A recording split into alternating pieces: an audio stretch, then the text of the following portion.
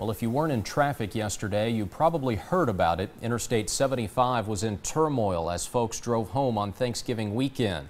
WYMT's Sarah Anderson talked to the Whitley County Sheriff about the conditions and what deputies are anticipating come Christmas time.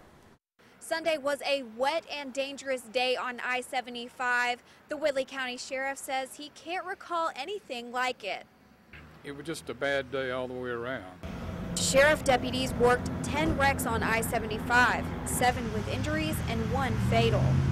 We had to call out an extra man. It was due to the high volume of traffic and, of course, the, uh, the, the rainfall. One of the reasons for the high volume of cars on the highway was the lower gas prices. The sheriff said he saw them a dollar higher last year than he did this year you combine the both of them and you're in for a serious bad situation. However, roads could be even more treacherous as temperatures decrease.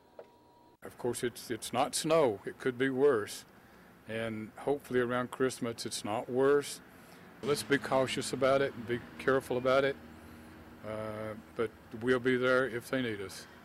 The sheriff says that if you are the one in traffic, make sure to stay attentive and keep off your cell phone. In Whitley County, I'm Sarah Anderson, WYMT Mountain News.